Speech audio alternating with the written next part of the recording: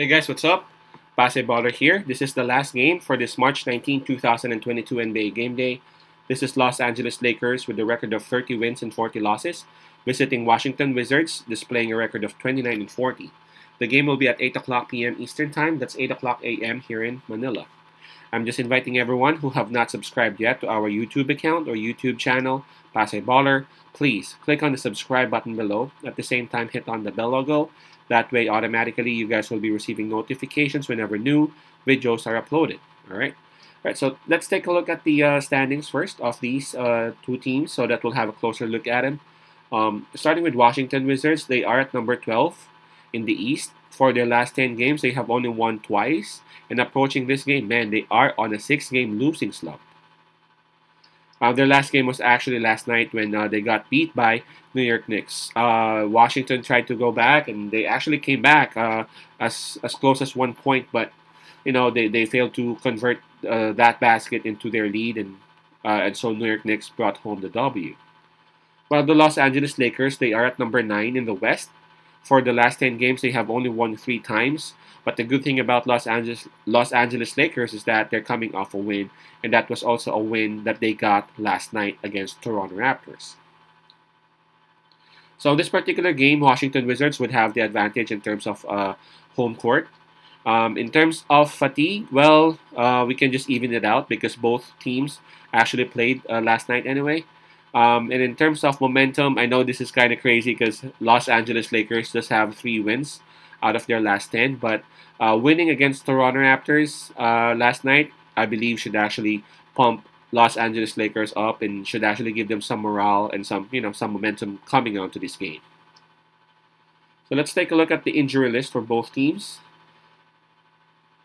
Well, uh, starting with Washington Wizards, I only see two names down here. Of course, Bradley Beal is out for the rest of the season, and we have KP or Kristaps Porzingis listed as day-to-day or game-time decision. For Los Angeles Lakers, um, hold on. All right, here we go. Of course, Anthony Davis and Kendrick Nunn still out, and we have THT, Wayne Ellington, and Carmelo Anthony on day-to-day or game-time decisions. So two are confirmed out, possibly five, depending on the statuses of those three other players. And I'm looking at the spread right now. Um, it opened with minus 1.5 for Washington Wizards. So it is now at minus 2. It just, you know, increased for a little. So it's minus 2 Washington Wizards. This one's tough. I mean, both teams are on a struggle.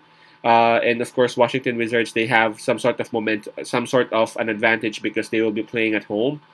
Um, but man, again, just like what I said earlier, that win of Los Angeles Lakers uh, last night should serve as a you know morale booster and momentum giver uh, for them as they approach uh, this game against Washington. Also, not not that long ago when uh, Los Angeles Lakers actually destroyed Washington Wizards, so I'm actually holding on to that um, holding on to that uh, event as well as uh, you know as a, as something that I that I would consider in making a decision for for this game. Um, in terms of fatigue, well, both teams are actually tired because both teams just played last night, right? Uh, this one's really tough, but I'm I'm I'm expecting LeBron James to actually uh, score a lot in this game well, he is actually trying to break you know some records out there.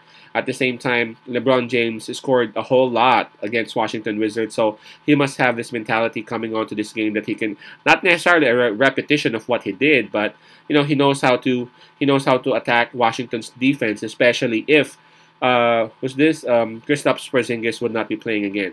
The last time these two played, Kristaps Porzingis wasn't there. So again, uh, the the middle or the paint is not that you know it's not that hard to penetrate. It's, it's not that hard to attack for someone like LeBron James.